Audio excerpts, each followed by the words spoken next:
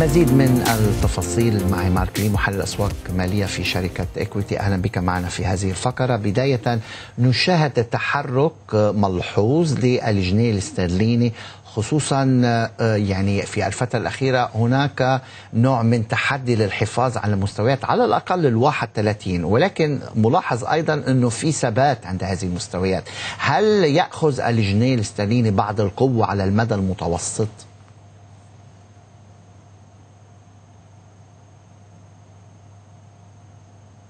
Good afternoon.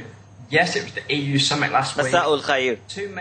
نعم كانت هناك قمة للاتحاد الأوروبي الأسبوع الماضي وكان هناك عنصران على أجندة الأعمال أولا محاربة فيروس كورونا والموجة الثانية من الإصابات والموضوع الثاني البريكزيت هذه المأساة المستمرة منذ أربع سنوات على ما يبدو ستستمر. كانت هناك مهل نهائية. تتغير وهذا الأمر جعل المستثمرين ينظرون الأخبار.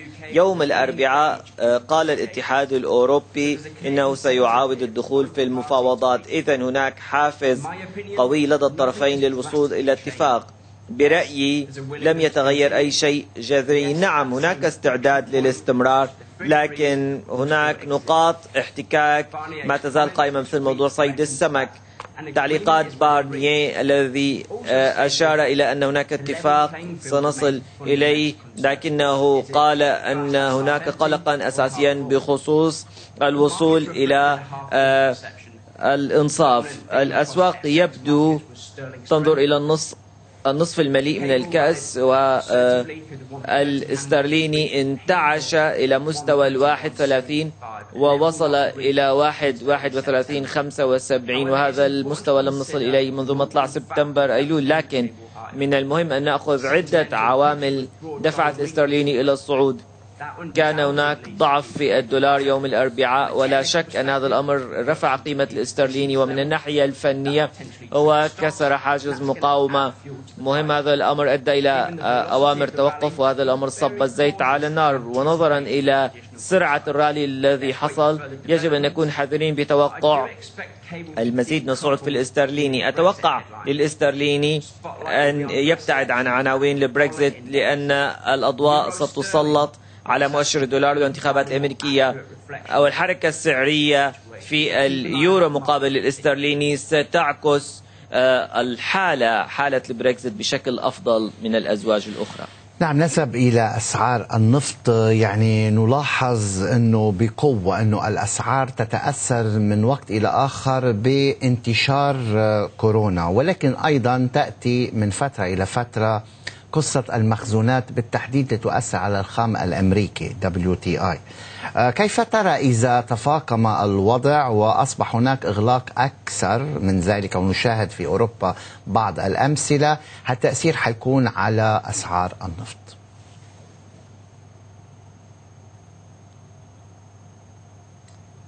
Oil has been in the spotlight. النفط كان تحت الأضواء صدر أسبوع هذا التقرير يشير إلى تراجع في المخزونات. هذا الأمر آه، كان يجب أن يدفع أسعار النفط لكن أسعار النفط تراجعت بعد صدور التقرير. فالبيانات كانت تشير إلى تراجع آه، أكبر. كانت الأسواق إذا تتوقع هذا الأمر وبالتالي الأسواق تفاعلت مع النتائج وبالتالي الهم الأكبر هو تزايد إصابات فيروس كورونا معدلات الإدخال إلى المستشفى وصلت إلى أعلى مستوى في شهرين في أمريكا وبطبيعة الحال السفر سيتراجع سواء بسبب القيود المفروضة أو رغبة الناس بعدم السفر. وما يدعم هذا الكلام هو أن مخزونات البنزين ارتفعت بمليون سبعمائة ألف برميل الأسبوع الماضي وهذه أكبر زيادة منذ شهر مايو أيار إذا هناك ضغط على الطلب على النفط وحاليا السوق من الناحية الفنية ضعيفة. وأي كسر لحاجز الأربعين دولار لفترة مستدامة هذا الأمر سيزيد المعاناة. إذا نحن في وقت صعب بالنسبة للمراهنين على صعود النفط. نعم شاهدنا بعض التقارير أو الإشارات المؤشرات المتباينة في الفترة الأخيرة بالنسبة إلى الوضع الاقتصادي العالمي، أيضا من الولايات المتحدة قصة حزمة التحفيز، نشاهد هذا الرالي بين الديمقراطيين والجمهوريين. آه، كيف ترى المرحلة المقبلة بالنسبة إلى حسم هذا الملف المهم التحفيز وتأثيره على أيضا الأسواق؟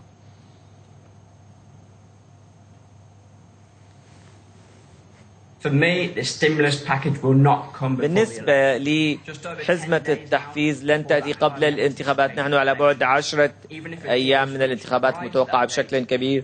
وحتى لو كان هناك اتفاق على الحزمة قبل الانتخابات فهي ستستغرق وقتا.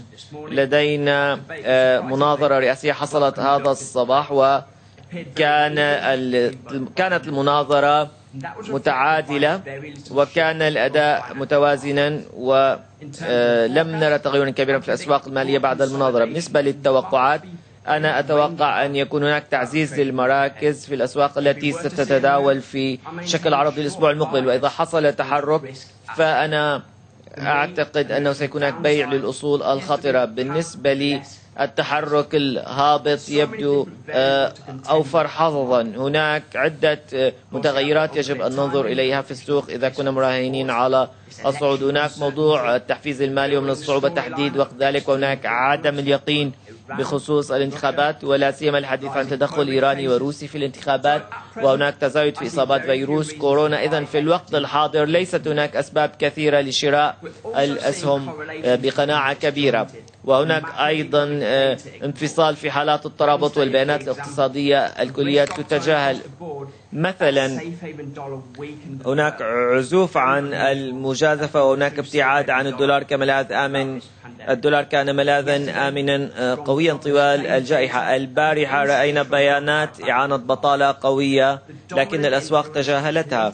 إذا الهيمنة حاليا هي للوضع السياسي وكل العيون هي على الانتخابات ولا بد من التحلي بالصبر وتوقع حصول تقلبات في الاتجاهين. وأن يكون هناك تعزيز مراكز في الأسواق المرتبطة بالدولار الأمريكي عموما. شكرا لك مارك لي محلل أسواق مالية في إكويتي على كل هذه المعلومات.